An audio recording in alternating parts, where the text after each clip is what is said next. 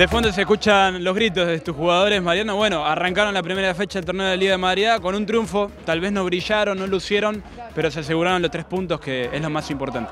Sí, sí, la verdad, bueno, era importante dejar los tres puntos en casa hoy. Un equipo difícil, candidato, un grande de la liga y bueno, nosotros estuvimos a la altura.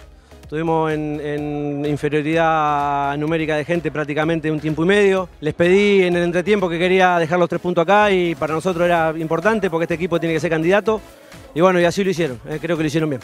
¿Qué pasó en el segundo tiempo que se quedaron tanto? ¿Faltaron piernas? Eh, ¿Fue la estrategia replegarse un poco y apostar un poco más a la contra? Como te digo, jugar con un hombre menos es un 10% menos del equipo, entonces el, el grupo que queda en la cancha tiene que hacer un esfuerzo extra bueno, había que contenerlo y un poco la adrenalina de ellos también nos llegó, ¿no? Nos replegó.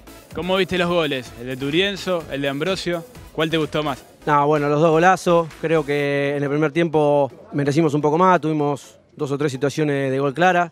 Pero lo importante es, eh, es que el equipo sacó chapa de candidato, sacó personalidad. Gracias a Dios tengo un cuerpo técnico que me apoya, que me corrige, que me ayuda, con el que compartimos las cosas y, bueno, creo que los cambios también fueron eh, acertados. Por suerte quedaron los tres puntos acá, ¿no?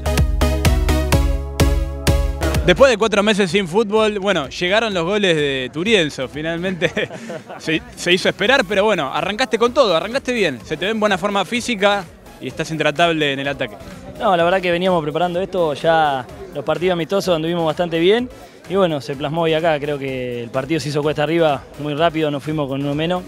Y todo lo que planteamos en el vestuario, ya a los 15 con uno menos, cambia todo el escenario pero creo que con uno menos fuimos dominador todo el partido igual, buscamos siempre. En lo personal, ¿cómo te sentiste?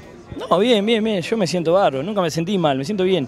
Creo que por ahí lo que ven todos, que por ahí estoy un poco más flaco y más, pero eh, a mí, por ejemplo, yo te voy a decir, pero a mí adelgazar mucho no me favorece a mí. No ¿Cuántos kilos bajaste? No, no sé, 7, 8, pero el tema es que cuanto más bajo yo pierdo, pierdo fuerza a mí, pero me siento bien, la verdad me siento bien.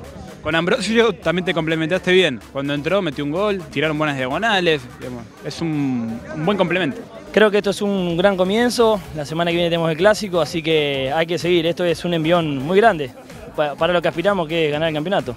La jugada del gol, ¿cómo la describirías?